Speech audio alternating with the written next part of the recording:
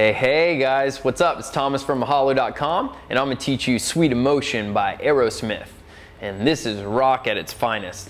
Listen, super easy. We're just gonna use the A chord and work with some rhythm and that's rock for you. A lot of big songs do that. And so during the verse of the song, uh, it's such a groove. It's just based off drums and the bass just, just rides A. And so it's all up to you, the guitarist, to kind of make it groove. So, we're lazy, that's guitarist. So we're gonna use A, the easiest chord out of all. We can use one finger, that's what we do.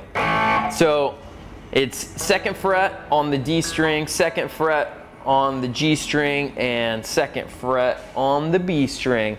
You can do one of these to make an A, but you're very rarely gonna see rock guitarists do that because once again, we're lazy. So we're just gonna do this. It's easy, right? So that's the beginning of this.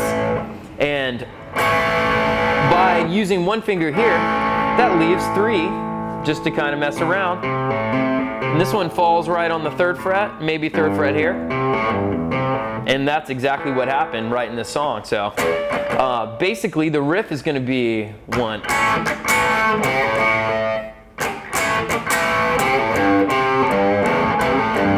Do some pull-offs. So basically the actual riff is.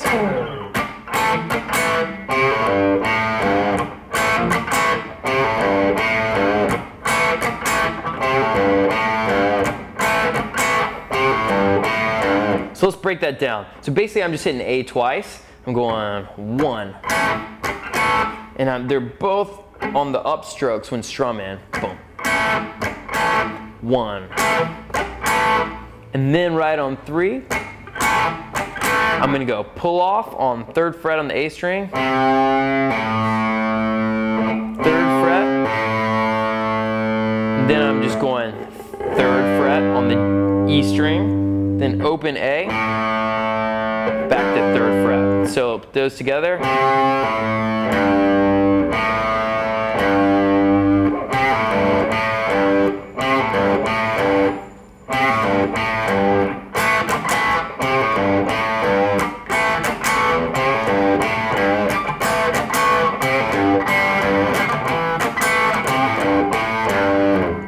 That's it, that's the verse. So it's got this rocking verse. And then we're, we do not know where to go from here. And what do they do? He steps it up a notch to the best riff ever. And this is a cool riff. This one will take some practice, but it's pretty simple.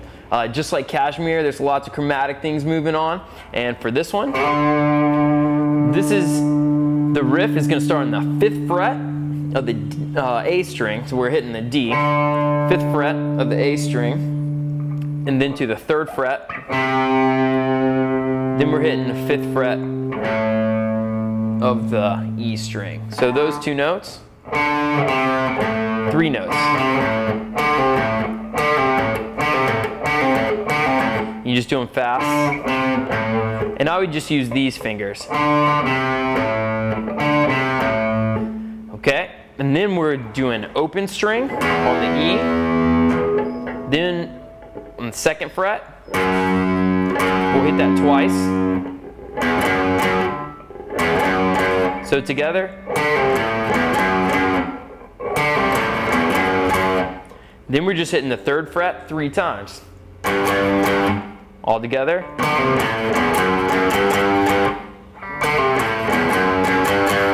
And then you just add four, four, five.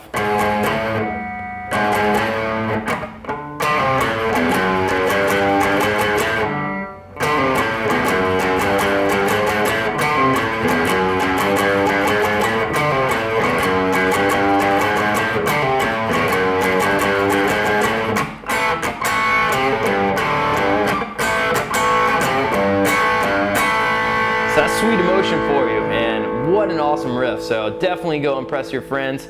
Don't go falling off the stage playing this riff, but it is mean, so go for it. Hey, thanks for watching. And if you want to learn more songs, please check out these videos. And also check out mahalo.com slash play guitar.